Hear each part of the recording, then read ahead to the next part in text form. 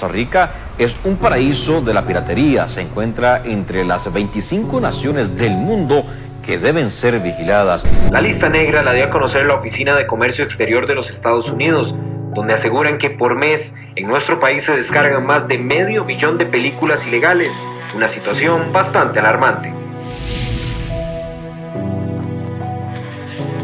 Romelli, the main cinema distributor of Central America, needed to take some action.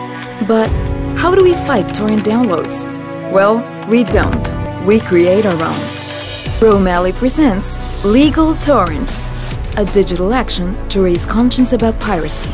We ran a Google AdWords strategy, buying the main keywords related to illegal downloads, and matched them up with our movie premieres.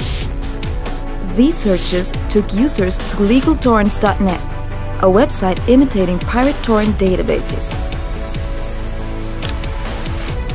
When users downloaded our torrents, they received a high quality movie extract. Hey, pardon me, sir. I think you have the wrong car. Interrupted by a screen with a message raising awareness against piracy, along with a digital ticket to enjoy that movie for free in any theater.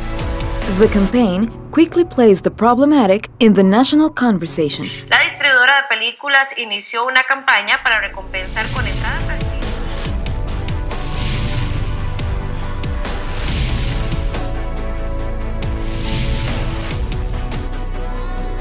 Even though the battle is rough and keeps on, piracy issue is now on everyone's lips, creating the perfect time for Costa Ricans to think twice when it comes to choose the right way to enjoy a movie.